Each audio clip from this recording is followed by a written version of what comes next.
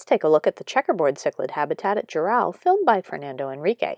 These are checkerboard cichlids, a species in the genus Dicrossus, and they rarely get to be more than 3 inches long. They're fairly social, peaceful cichlids, and look at how they use this habitat.